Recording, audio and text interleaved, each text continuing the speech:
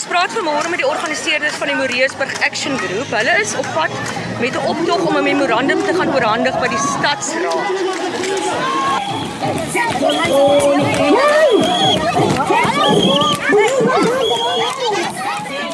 Wat gaan hier aan en wat beoog julle om te bereik? En dink jy julle gaan dit bereik vandag?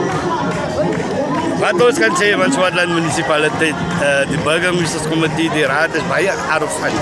Bronwoon, ek het so vlugtig met jou gepraat gister. Ek sien op die lys van julle memorandum is daar 'n klomp goed. Dit is behuising, dis dienslewering, dis skole, dit is youth um recreation, maar daar's een wat my in besonder pla en dit is die laaste punt op die memorandum. Dit is julle burgemeester wat volgens julle rassistiese aanmerkings gemaak het. Yes. Voor ons oor die ander goed praat, kan julle dalk net vir my 'n bietjie meer van dit sê en wanneer dit plaasgevind het. Wat ek ook kan sê van die burgemeesters by die vergadering van van die IDP plan hier in Morisburg het hy na die vergadering uitlatings gemaak dat die kleerlinge is te onnoosel om kantore te beman. So dit is 'n rassistiese uitlating en met hierdie uh, optog glo ons ons gaan reg kry om huise vir ons mense te bou en ons diens 'n uh, beter dienslewering te kry. Bronwen het iemand het julle self gehoor dat hy dit gesê het. Dit is 'n betroubare bron, dis een van sy raadslede. Een van sy raadslede. Sy raadslede wat bekend gemaak. Sowel uh, ek het 'n afskrif van daai brief waar hy die volle uitlating van die burgemeester gemaak het. So ek het daai brief, daai brief is ook in my ehm uh, memo wat ek opgestel het. Is in die in in die bakkie en is die brief wat ek afskrif gemaak is by aangehef al die goed wat hy uh, gesê het rondom ons breinmense en ons Afrika. Sarah, wat dink jy gaan vandag hier gebeur en dink jy daar gaan enige reaksie wees op die memorandum wat jy gaan oorhandig? Ons ons staan hier by die huise Oh, ek het al eers op die lys gewees en my my naam is al heel onder en ons veg vir huise van oral skry die mense huise maar ons kry nie huise nie. En van wanneer af is dit wat hulle vir julle RDP houses beloof wat julle nog nie reg gekom het nie? 20 jaar. Al 20 jaar al wat ons af voor wag vir die huise. En dit al baie lank ons wag ons nou al by al die vergaderings gewees. Maar ons kry nooit ons antwoord oor die huise nie. Kathleen, jy is 'n ma en jy's ook een van die organiseerders van Moreesburg Action Group. Yes. Hoe voel jy oor jou kinders se education hier in Moreesburg? Jy sê ja met Dirkie Eis, maar Dirkie Eis uh uh vat net 'n uh, Dirkie Eis vat net 'n uh, 'n uh, sekere aantal kinders. En baie van ons ouers kan nie bekostig om hulle kinders in Dirkie Eis te sit nie.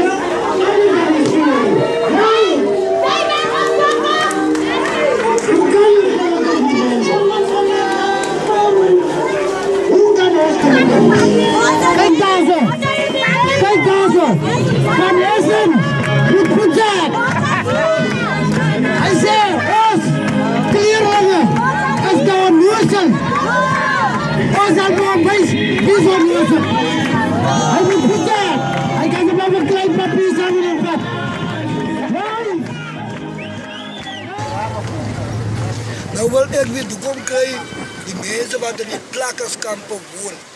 Vorige keer daar's wel hulle erwe uitgesit. Ja. Hier is ons klomp families wat hier is wonings het. Hulle moet in die mense se agterjaar moet hulle moet bly. Hoekom? Ja. Maar daai mense huis toe, daar as die mense, daai mense wat in die plakkerskampe bly. Wat in die plakkerskampe bly. Maar einde van die jaar gaan hulle huis toe. Want dit vir my sê hulle het wonings. Ons ons gemeenskap hier. Hoekom moet ons in Wendy House bly? Hoekom moet ons in Hokkies bly? Nou kry hulle nog voorkeer op waar hulle spesiale grond uitge, uitgesit. Hoekom? Waas ons. Hier kom ze met trokken, trokken. Van ons toen we elkaar. Daar kom die bollen je net hoor. Daar is aan mensen wat klaar gekomen. Van waar af kom hierdie mense waarvan jy praat? Zimbabwe. Seba ek kan oral oral Ja. Hoor met wie praat ek nou? Eloise. En jou van? Pedro. Pedro. Watter uitlanders is dit? Die Somaliërs. Hier is Chinese van hulle kry huise. Hulle kom hier. Sekere mense se huise teen 'n billike prys. Dan hoekom baie van ons arme mense ken slegs dat geen die waarde van geld nie. Nou kom hulle van die buitelande af aan 'n plekke af. Daai man kom en hy kom sê ek gee vir jou Yes, yes. 7000 rand vir jou huis. Wat ek gaan 'n winkel opsit. Ons gaan 'n kompromosie in. Hy sit die winkel op op die man se huis in die by die ophuis. Op die perseel. Op die perseel. Nou is dit so in die tyd saam betaal hy daai hier. Hy betaal hy hier vir 3 jaar. Op na daai 3 jaar, dan sit hy die huis eienaar uit want hoekom? Hy het sy skuld afbetaal vir hy huis. Hoekom gebeur dit? Ons mense is oningelig. Hulle vat dit oor en ek voel dis verkeerd, daar moet ook aangespreek raak. Maar ons is hier vir die mense wat nie huise het nie. Ek is een van hulle. Ons is lank op die waglys. Mamas bly bly uit, pakketberg bly uit. die lang waglys, 15 jaar. Werksgeleenthede, hier is hy. En as jy kry, is dit by jy word by die gesig gekyk. Ja. Want my vriend moet in, my broer moet in. Ek werk my broer in. En na 'n jaar of twee werk my broer vir jou uit, want ek wil my vriend in werk. So ek voel ons moet ons moet op ons voete staan en by mekaar kom as gemeenskap. En dit by skool. Ek is al uit die laerskool het ek sê die hoërskool uit. Ons wag nou nog vir die laerskool waar daar bo sou gebou raak. Hier's net een hoërskool in Moeriesburg en dit is Dirkie Eis. Ons kinders moet uit die plekke dry. Pakketberg, Versteinwil, Wesbank en Skoonsvriet en Mamasbury. Ons kinders word seer gemaak op die busse teen die paaie en goed. Busse is oud en goed. Hier's hier's ons moet bymekaar staan. Dit kan nie so gaan nie. Melvin, wat dink jy van hierdie dag? Ek dink so weer is 'n vreedsame optog.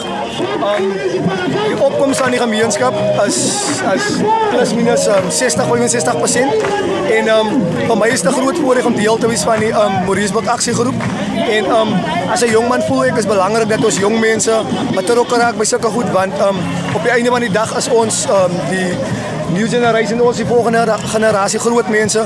So uh, vir my voel dit tot dusver um ek respekteer die feit dat die popsie so is, dat die polisie so is, dat law enforcement hier so is. Ek aan die aksiegroep, ek saluut julle.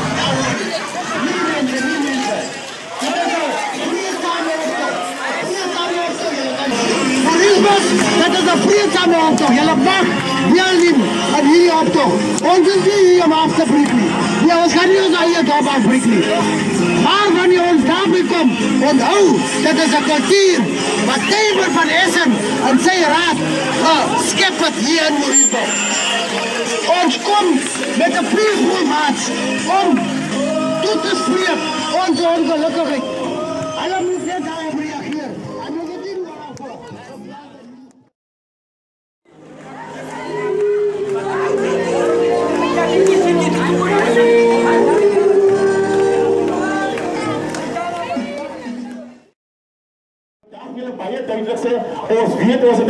Het 'n baie swak kansler. Hy sal nooit weer in sy lewe Mauriceburg gekies word deur Mauriceburg nie. Ons het 'n vorige opdragte opgesit meneer Philips. En ons het vir 14 dae gegee met al die klomp opdragte. Hulle het nog nooit terug na ons gekom en ek hoor hierdie sewe dae ding. Ek stem nie saam met die sewe dae ding nie, maar ons moet wel daarmee gaan. Die 8ste dag gaan ons hiernatoe kom. Al moet ons die hokke hier opzet, ons gaan nie toelaat dat die law enforcement vir ons gaan keer hier toe, want julle ken mos net geweld en julle ken net daarmee net actie doen.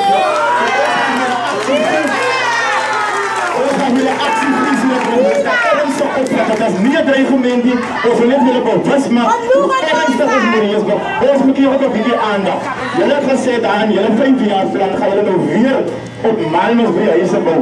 Wat is fair as het nog steeds met ons eerste fase van 2003.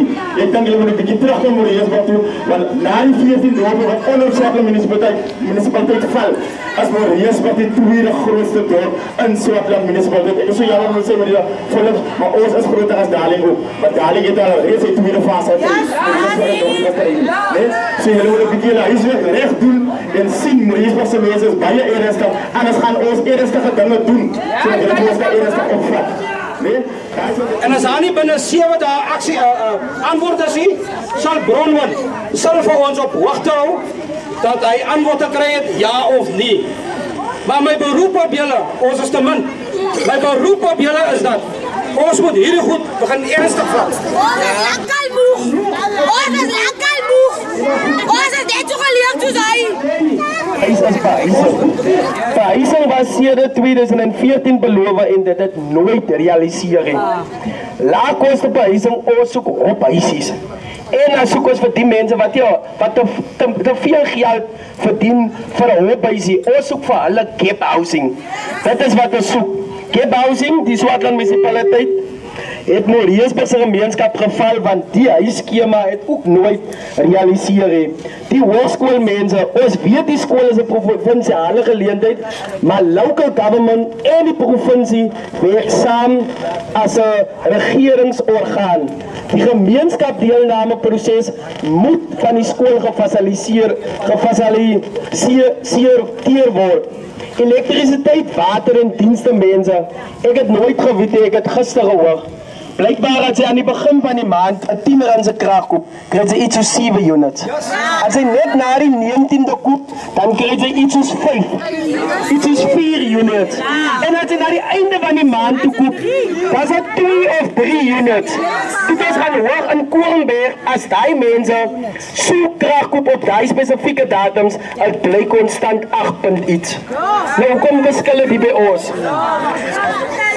Hoë elektrisiteit en watertariewe, die glyskaal van tariewe, dis daylight robbery, dis wat ek nou net vir julle genoem het.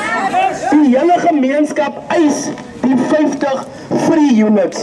Nie net vir mense in Hopland wat die struktuur wat hier op aangebou het, nie, maar die hele dorp moet die 50 units free kry.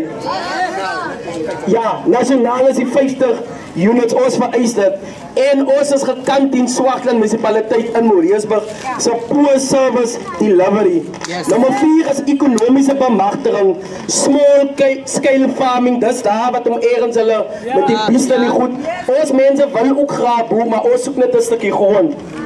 Dan het ons uh special development die onmiddellike verwydering daarvan ja, ben het recht. Spe, um, special, special uh, development is waar hulle huise bou in die kant van die treinspoor en nie in die kant nie.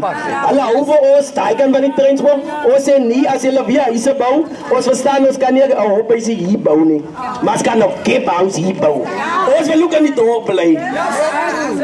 Dan 'n uh, youth development. Ons soek 'n youth center wat geran en gebuld word deur ons mense.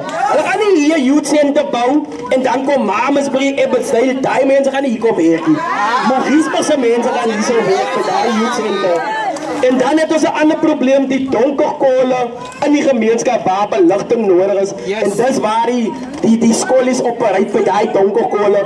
Ons soek beligting by daai donker kole. En die historiese ou begraafplaas van ons breinmense moet aandag geniet. Dis wat om pet het om maar gepraat dat ek hoor die manne party nou, die manne gaan pak en vat 'n dop aan, staan sommer met die kar op die bakkie boerie graf. Ons sê daai daai begraafplaas moet 'n bietjie aandag geniet.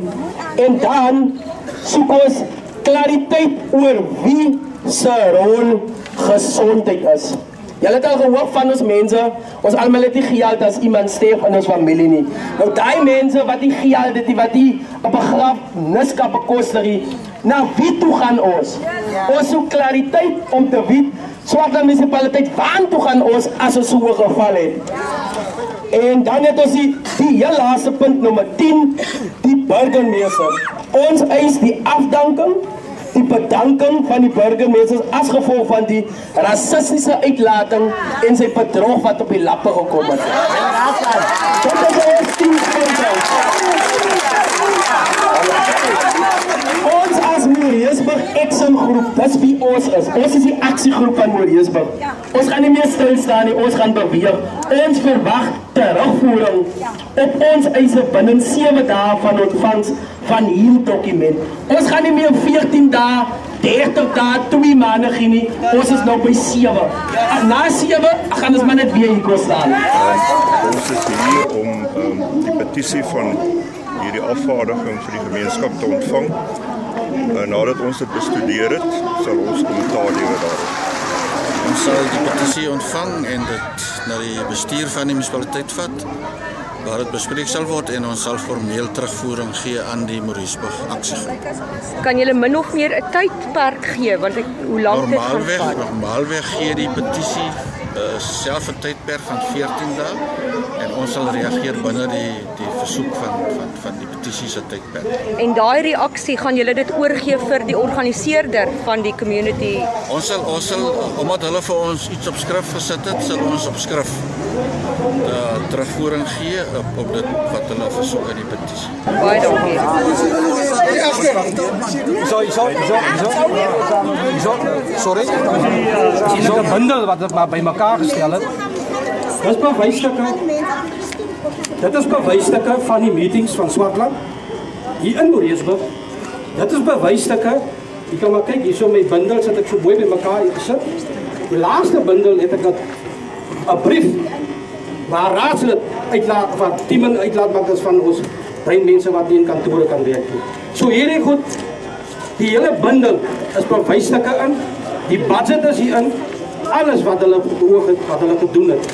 En hier laat hier sê ons Moreesburgers dat genoeg is genoeg. En dis waar ons vandag op mekaar gekom het oor hierdie bundel.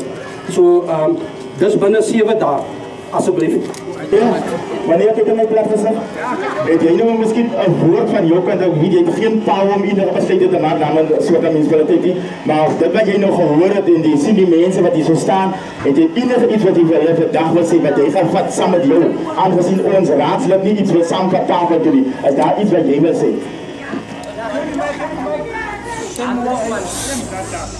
Ja, namens Swartland Munisipaliteit neem ons nou hierdie getuieskrif in ontvangs of petisie in ontvangs van die aksiegroep van Moreesburg. Dit is 'n aansienlike dokument. Ons sal het tyd nodig om dit te bestudeer.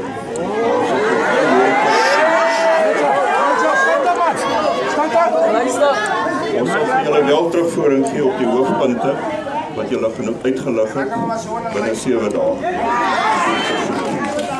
Uh, ons gaan nie nou in detail die dokument bespreek nie. Ons wil geleentheid hê om dit te bestudeer. Ja. Goed, baie dankie.